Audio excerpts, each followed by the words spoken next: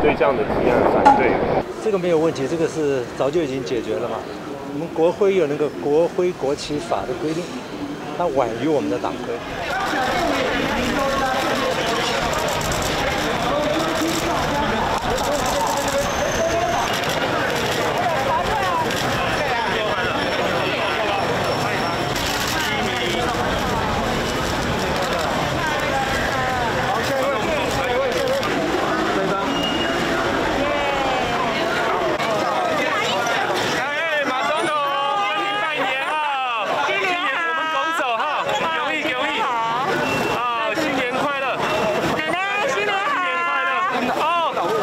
对这样的提案反对，党团就有共识的一致权。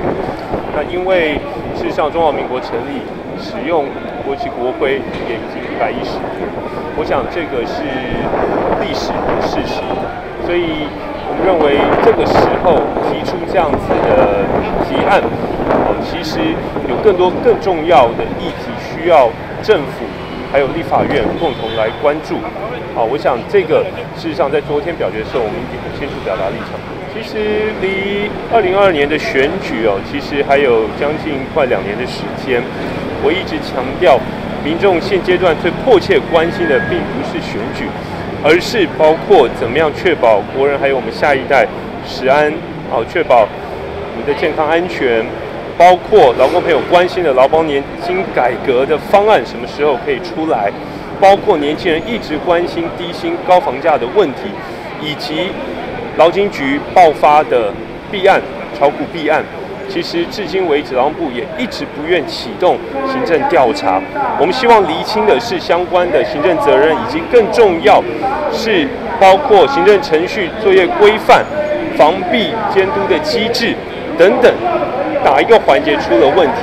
其实行政部门应该尽速的启动调查，给国人一个清楚的交代，这个才是民众迫切关心的问题。今天跟那个万安委员一起来发春联，是要帮他拉抬声势吗？没有，是发我的春联。一起来帮他竞争。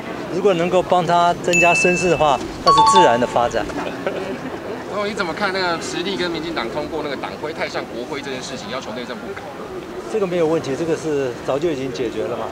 我们国徽有那个国徽国旗法的规定，它晚于我们的党徽。